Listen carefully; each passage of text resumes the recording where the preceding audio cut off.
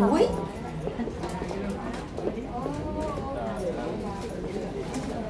Hello, còn một người nữa tới em.